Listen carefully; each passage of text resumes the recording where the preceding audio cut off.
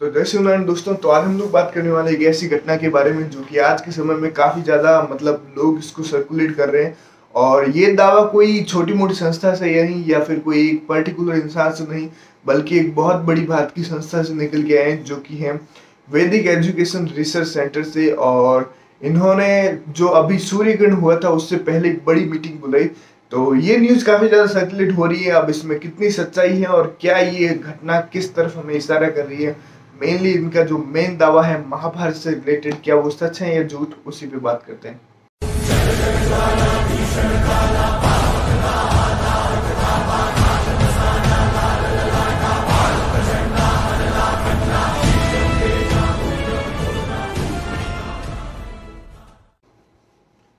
अभी सूर्य ग्रहण से कुछ समय पहले ही मतलब एक दो दिन पहले ही जो ये संस्था है, यानी कि वैदिक एजुकेशन सेंटर की, इनकी एक बैठक बुलाई गई, जिसकी अध्यक्षता कर रहे थे इन्हीं के जो मुखिया थे, पंडित शिव पूजन चतुर्वेदी जी।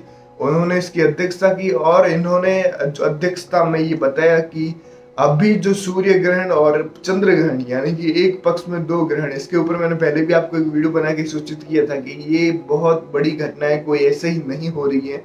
और युग परिवर्तन से इसका बहुत बड़ा संबंध है। उसी कड़ी में जो इस संस्था के लीडर थे शिव पूजन जी, उन्होंने अध्यक्षता में जितने भी सदस्य थे, उनसे ये कहा कि एक पक्ष में जो दो सूर्य ग्रहण आ रहे हैं मतलब दो ग्रहण आ रहे हैं सूर्य ग्रहण और चंद्र ग्रहण ये पूरी दुनिया के लिए बहुत बड़ा अशुभ संकेत लेकर आए हैं, क्योंकि अभी जो सिचुएशन बन रही है, महायुद्ध की, यानी कि यूक्रेन वर्सेस रसिया, कहीं चाइना वर्सेस हो रहा है ताइवान ये सिचुएशन कहीं ना कहीं उग्र हो सकती है। उन्होंने जो मीटिंग में दावा किया कि जो जितने भी लोग हैं, उन्होंने भारत के लोगों को भी और पूरी दुनिया के लोगों को वैदिक धर्म अपनाने की सलाह दी, वैदिक जो रिचुअल्स हैं उनको करने की सलाह दी, यज्ञों की सलाह दी, ताकि कैसे भी करके इस महायुद्ध को रोका जा सके। और क्योंकि अगर ऐसा नहीं हुआ, अगर ऐसे ही सिचुएशन चलती रही, क्योंकि जो संयोग बन के आए हैं, ये बहुत बड़ा संकेत है पूरी दुनिया के लिए। क्योंकि इस कड़ी में जो इन्होंने जो आ, इसके परिणाम निकाले वो पूरी दुनिया में बीमारियों का फैलना पूरी दुनिया में विश्व युद्ध का बहुत तेज़ी से बढ़ना है। इस चीज़ के ऊपर खास कर गौर दिया गया उन्होंने कि जो अभी सिचुएशन बनी है यूक्रेन और रशिया के बीच परमाणु बड़ी वो भी कहीं ना कहीं उग्र रूप ले सकती है। हो सकता है कि परमाणु युद्ध भी स्टार्ट हो जाए। ये उनका दावा था। ये पूरी जो भी मैं चीज़ें आपको बता रहा हूँ ये कहीं ना कहीं सिर्फ़ उस संस्था का दावा है। उन्होंने ये चीज़ बाकायदा एक मीटिंग करके बताई, क्योंकि एक पक्ष में दो ग्रहण आ रहे हैं, मैं फिर से आपको बता रहा हूँ। उनका मानना था कि ये जो सिचुएशन बनी है महाभारत के बिल्कुल पहले बनी थी। महाभारत कौन सी आप सभी को जानते हैं, जिनको थोड़ा भी आइडिया नहीं है, थोड़ा सा आइडिया लगा लेना चाहिए। भगवान कृष्ण के समय द्वापर युग में जब भगवान कृष्ण आए थे, भगवान विष्णु का अवतार हुआ था उस समय में भी जब पांडु और कौरव आमने सामने खड़े थे सिचुएशन बहुत ज़्यादा तनावपूर्ण हो रही थी कि युद्ध होगा कि नहीं होगा, पूरे आर्यवर्त में इस चीज़ की चर्चा हो रही थी। उस समय भी यही संयोग बना था जब एक पक्ष में दो ग्रहण देखने को मिले थे, सूर्य ग्रहण और चंद्र ग्रहण। वैसा ही सेम संयोग देखने को मिल रहा है अभी के समय में।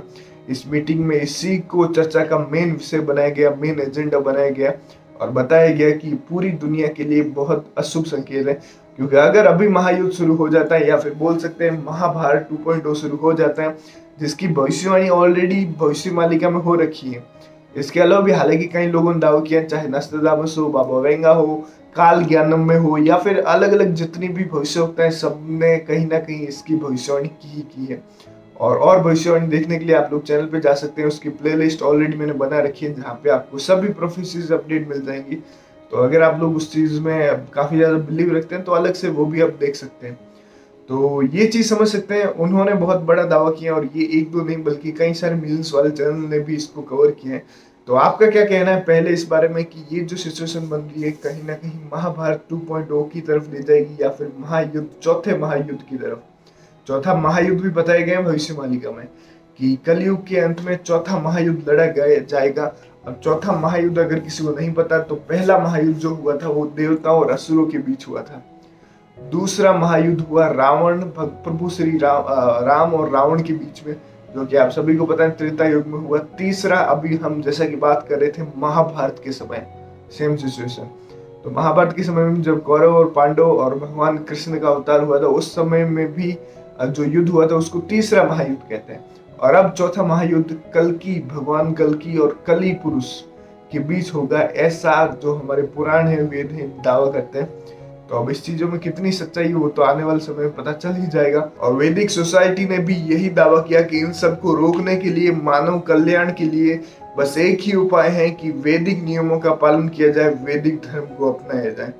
जो कि पीटी गुरु काफ़ी लंबे समय से बता रहे हैं कि सभी लोगों को अपना बेसिक सही करना होगा, वैदिक नियमों पे चलना होगा, क्योंकि हमारा धर्म हमेशा से एक ही रहा है, वैदिक सनातन और सनातन संस्कृति ही हमारी धर्म ऑलरेडी बताया आप सब लोगों को, बाकी सारे मॉडर्न रिलीजन बाद में बने और वो अगर आप लोग ध्यान से देखेंगे तो इजीली पता लगा सकते हैं। खैर, अभी उस पर बात नहीं करेंगे। उन्होंने और भी कई सारे डराने वाले दावे किए, पर फ़िलहाल उनको हम नहीं खींचेंगे, जैसे कि मानव सभ्यता अंत की तरफ़ इतने लोगों का मर जाना और मतलब बाकी सारे जो ऑलरेडी आप लोग कई चैनल्स पे सुन सके हैं तो उनको रिपीट करने से कुछ फ़ायदा नहीं है। तो ये सारी चीज़ों का बड़ा दावा किया उन्होंने। आप अपने विचार कमेंट में ज़रूर से रखिए कि आपको क्या लगता है, सोसाइटी ने किस तरफ़ इशारा किया है। हालाँकि अब भी लोग नहीं जागेंगे तो फिर पता नहीं कब जागेंगे, क्योंकि इतनी बड़ी संकेत मिल रहे हैं बड़ी बड़ी संस्थाएँ दावा कर रहे हैं। भविष्य वक्ताओं ने भविष्यवाणी ऑलरेडी कर रखी है इससे रिलेटेड और दुनिया भर में ये सिचुएशन भी बन रही है। तो देखते हैं कितने लोग जागते हैं, हम अपना काम कर रहे हैं, लोग अपना काम करते रहेंगे। आप लोग अपना काम कीजिए, फटाक से कमेंट कीजिए, आपको क्या लगता है, क्या नहीं लगता है, इसके अलावा अगर चैनल पर नए हैं तो ये पूरा चैनल भगवान कल की युग परिवर्तन और सनातन धर्म को रिलेटेड है तो इससे ज़रूर से जुड़ जाइए मिलते हैं नेक्स्ट वीडियो में। हरे कृष्ण दोस्तों।